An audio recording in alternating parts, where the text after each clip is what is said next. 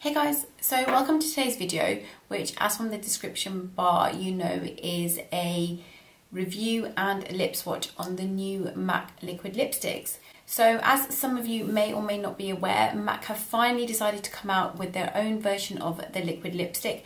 I think these came out either at the end of December or the beginning of January. And I think they came out with 15 new retro matte liquid lipsticks, which are all permanent. So I finally got my hands on seven out of the 15 colours and these are the colours that I thought I wanted to try and would probably suit me the most. So I've been trying and testing these out for the last week for you guys so I could give you my honest opinion on them. So I'll first show you the lip swatches of all seven shades that I own and then I'll tell you what I think about them after that.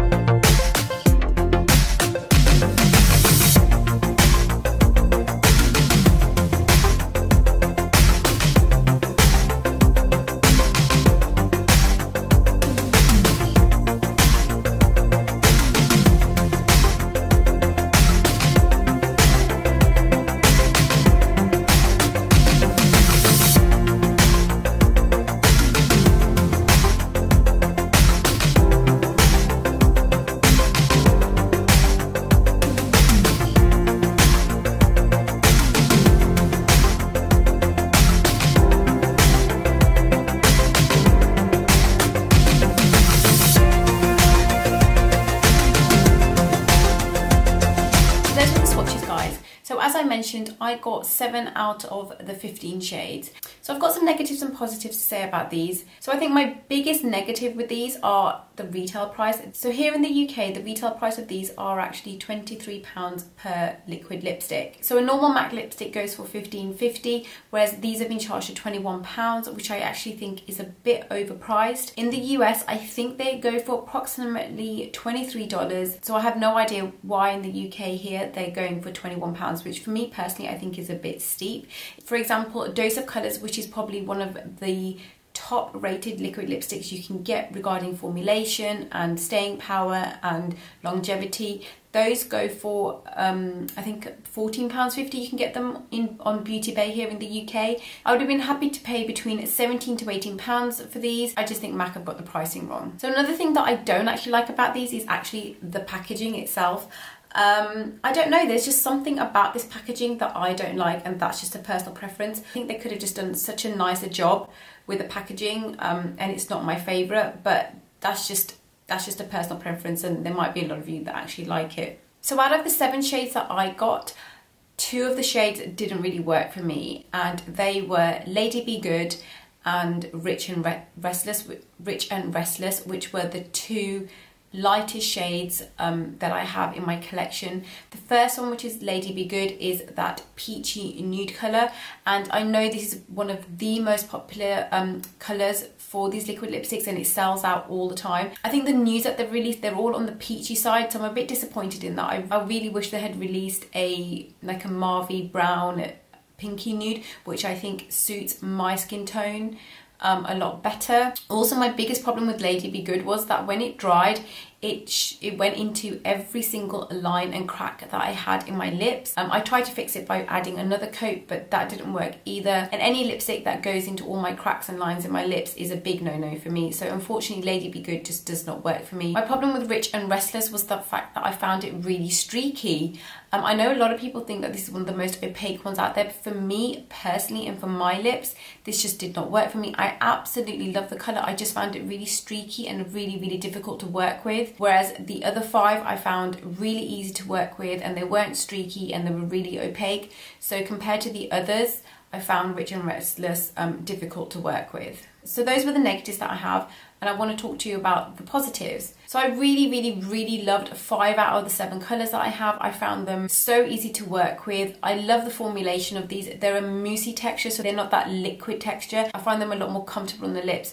I don't find them drying at all. I have tested these out. I've been wearing them on and off for the past week and I actually find them really comfortable on my lips. I actually find them even more comfortable than the normal retro matte lipsticks that they have and these are way more comfortable than a lot of other liquid lipsticks that I own as well.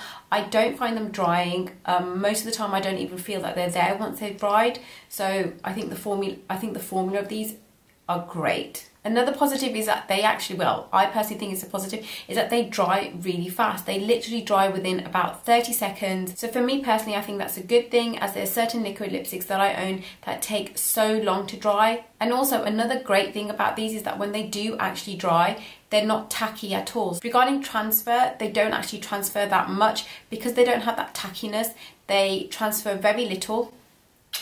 So as you can see, so this so can you see? There's just the tiniest, tiniest, tiniest bit of transfer. And I've had these on my lips for just a couple of minutes and that's the only transfer that you get.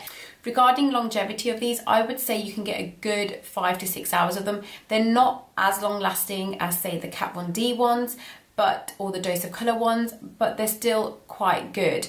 Obviously that will depend on what you are eating or drinking throughout the day because if you have something oily then they are going to come off. But reapplication of these again is not a problem. I've reapplied quite a few of these um, over the past week and as soon as you reapply it, looks really fresh as though you've just put it on. So again reapplication isn't a problem. So my two favorite ones are Oh Lady and also the, the red that I'm wearing right now which is Feel So Grand. I think the formulation of them are amazing. They're so comfortable. They're so easy to work with and I just I think they're stunning, especially O Lady. I have nothing like O Lady in my collection, so I'm really happy to have that and I really, really like it. So overall, guys, I do think that MAC have come out with a good liquid lipstick, but I do think that they are overpriced. However, if you are a MAC lover or you are a liquid lipstick lover, then I do recommend getting at least a couple of these for your collection.